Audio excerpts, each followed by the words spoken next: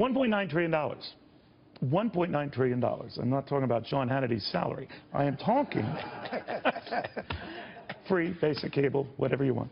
Uh, I am talking about the money it costs in, in new federal regulations for, for all types of businesses.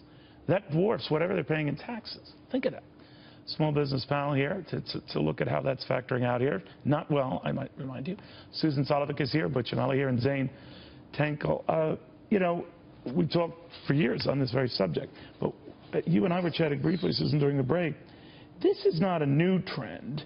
Um, 114 laws were enacted last year, over 3,400 rules issued by 60 federal agencies, and a trend that has been sustained and picked up steam in this administration, but through Republican and Democratic administrations alike.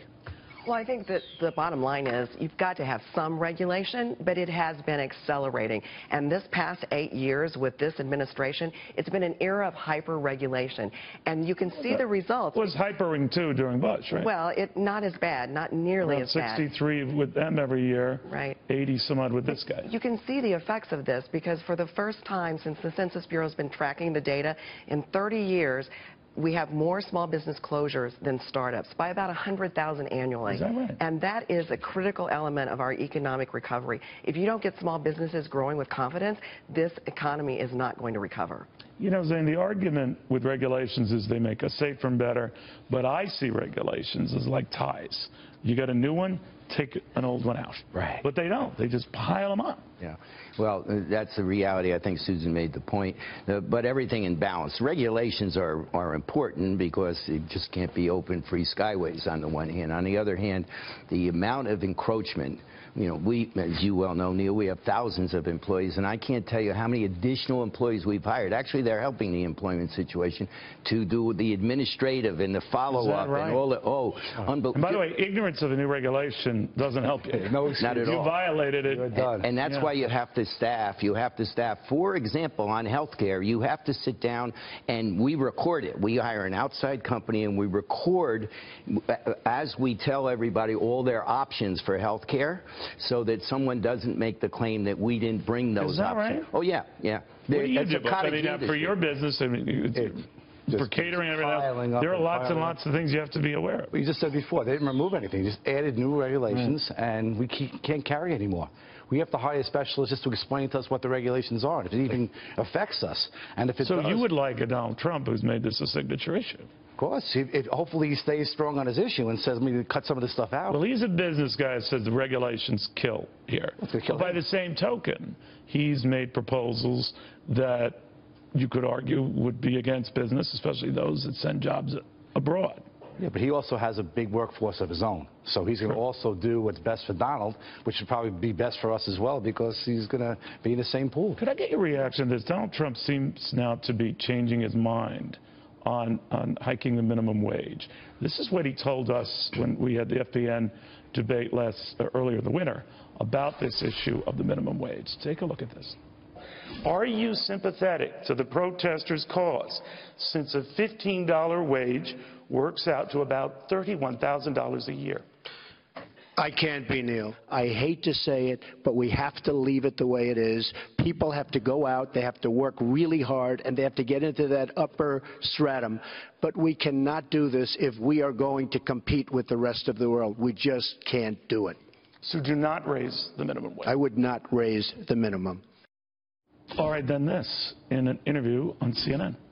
You can't live on $7.25 an hour. Uh, and I'm actually looking at that because I'm very different from most Republicans. I mean, you have to have something that you can live on. That's a reversal. It sounds like he's flip-flopping, but he is a businessman, and I think he understands that if you too. right, if you if you raise that minimum wage, it will cost jobs. Plain and And by the simple. way, we should posit here, did not say bring it to $15, that it could Right. and should be higher livable wage. That's always in the eye of the beholder. But do you think a flip-flop like that, however you want to define it, he, he could say, it, he's evolving on this subject, that that could hurt him, Zane? What do you think? Um, I'm I heard him in how he's looking for votes and he's running, and it's one Well, thing to get through the obvious? primary, and it's another thing to get Yeah. forward. You can't, Neil. You know better than I. You can't legislate a minimum, um, Right. not a minimum wage, a, a m- middle class. You can't legislate that. Middle class comes from people getting jobs, and labor commands its own salary. If I need cooks and there's no cooks, I pay more for cooks till I get. But cooks. you'd have to raise everybody's salary as a Exactly. result. It comes from everybody getting jobs, working, legislating a minimum wage. Well, there is the power, the, the bully pulpit of the White House to do that. And if he, Yeah. he, we must be fair to him here. He's not saying, you know, bring it to 15, but he is saying it should be higher. Mitt Romney had said it should be higher. Yeah. Where do you think it ultimately has to be? I mean, the starting wage for a young student or a first-time worker should be maybe nine, ten dollars an hour, where it is right now in New York State. But to stop paying them fifteen dollars, who's going to ever hire a student again? Who's going to have these menial jobs, you know, the starting jobs? And And then everyone on up, you have yeah, to the pay more. fifteen dollar an hour person now is going to. I can't raise up. my food. It's a sixty percent raise from nine dollars to fifteen dollars. I can't raise my prices sixty percent. I'd be out of business. I'm done. I just got a survey from uh, Capital One Spark Business Barometer, and con- the small business confidence level has dropped almost 10 points from this time last year. Wow. And one of the top concerns is this presidential election.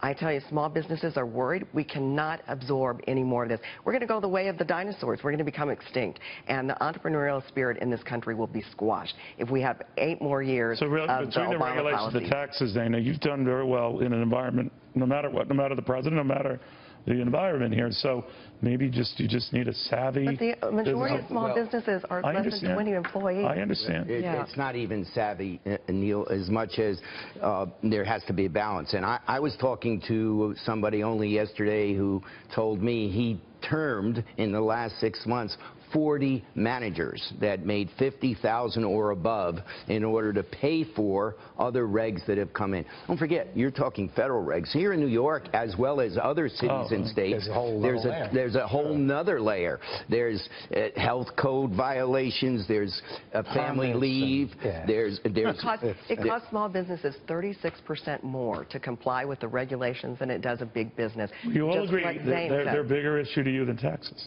That's interesting. well, of course. It's a tax. Yeah, it is a tax. I understand. Right. It's a camouflage. And you've got the that's all. attitude to go with it. I we had Real this quick. year. We had this year. We had uh, sick one week sick leave for all hourly. Uh, one week sick leave is simply one week vacation.